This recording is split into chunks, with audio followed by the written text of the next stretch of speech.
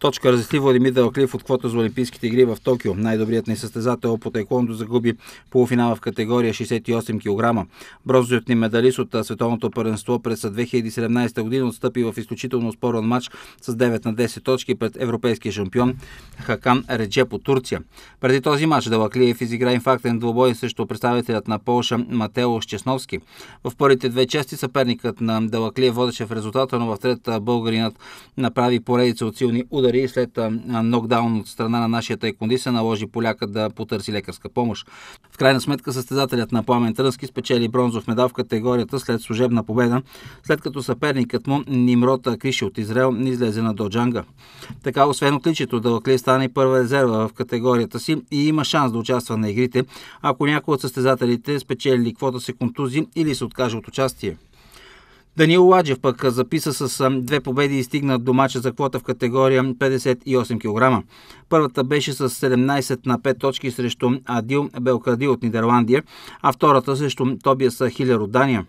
След като се гониха по точки през цялата среща, 8 секунди преди края Хидъл водеше с една точка, но със страхотно долю чаги Даниел успя да обърне резултата и да спечели матча. В двобоя за квотата съперникът на 17-годишния талант бе световният медалист и участник на две олимпиади Руин Брахштанца. Въпреки инерцията, която бе набрал Старозагорецът, в крайна сметка опитът и рутината на португалеца си казаха думата и той взе виза за Олимпийските игри.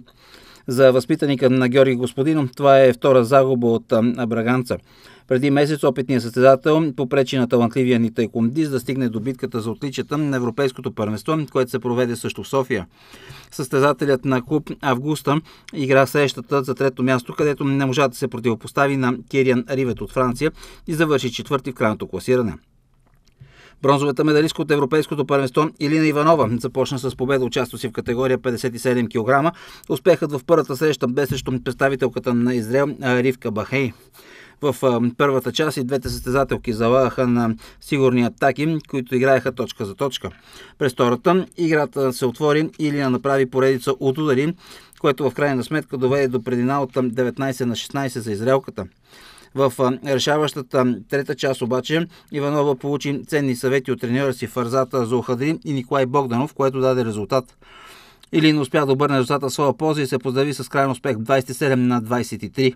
Във втория кръг Иванова се изправи срещу водачката в схемата Инеса Травида от Латвия, която не й остави никакви шансове и я победи с 36 на 11 точки.